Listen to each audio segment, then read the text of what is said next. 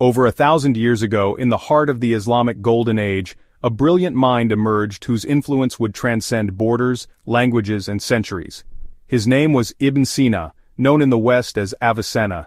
A physician, philosopher and thinker, his works shaped the foundations of modern science and medicine. In this documentary, we'll explore the extraordinary life, the challenges, and the enduring legacy of one of history's greatest intellectuals, Ibn Sina.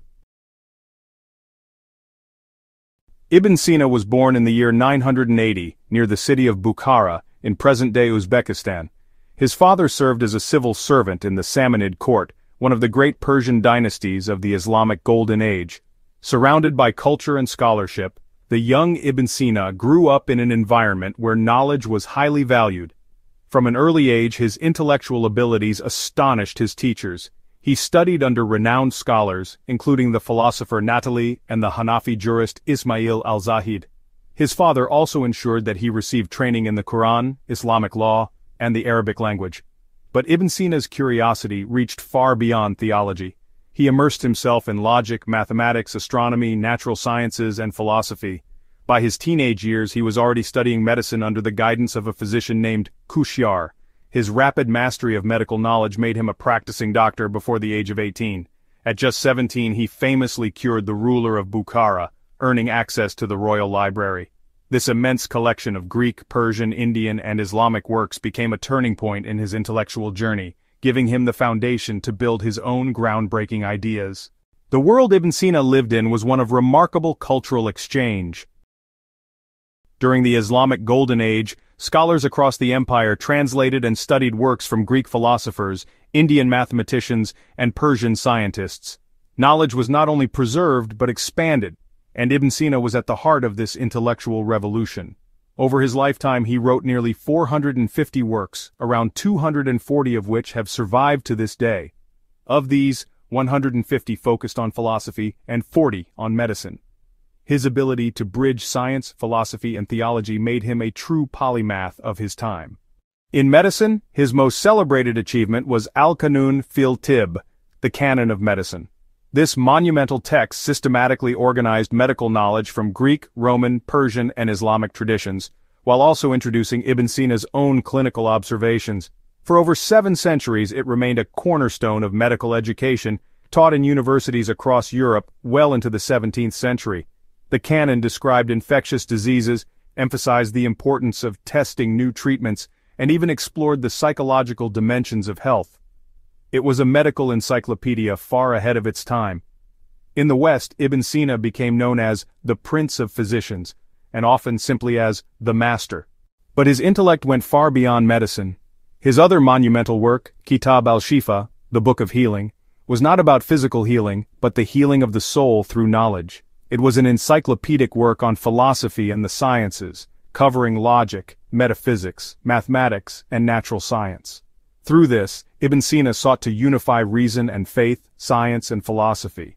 He lived during a period when Greek and Roman philosophical texts, especially the works of Aristotle and Plato, were being studied throughout the Islamic world.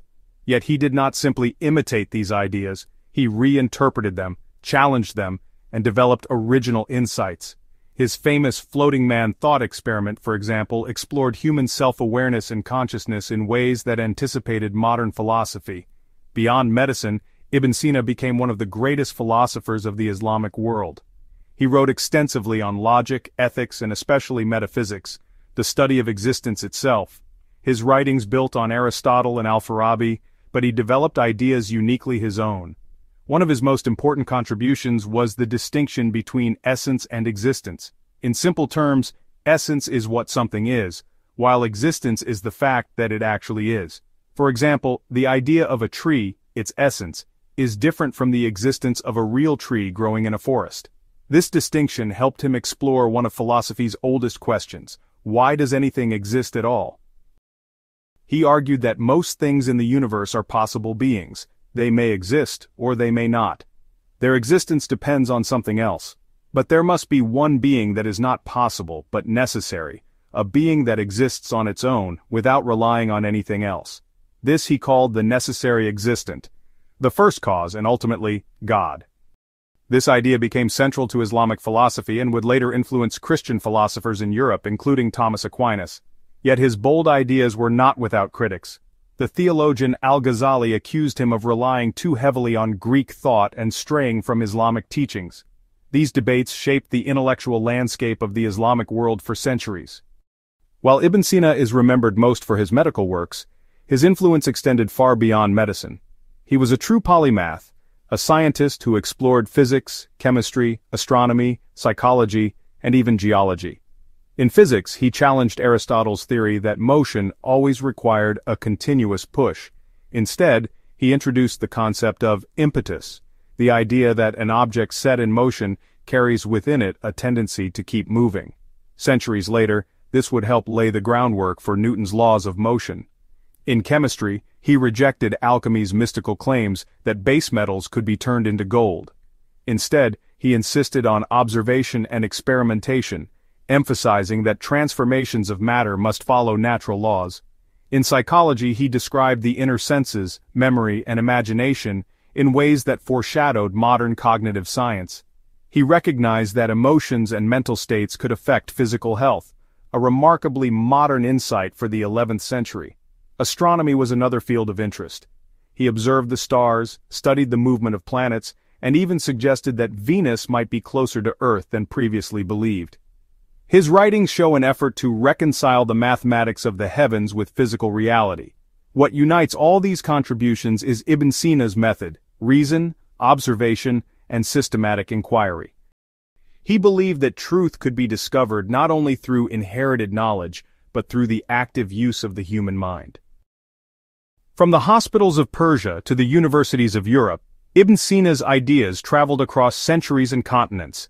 He was more than a physician or philosopher. He was a bridge between worlds of knowledge. His writings shaped medicine, influenced philosophy, and inspired generations of thinkers who came after him. Even today, a thousand years later, his works remind us of the power of curiosity, reason, and the human spirit to seek truth. Ibn Sina's story is not just about the past. It is about the timeless quest for knowledge that continues to shape our future. Thank you for watching. If you enjoyed this journey into history, don't forget to subscribe to our channel for more documentaries on the great minds who changed our world.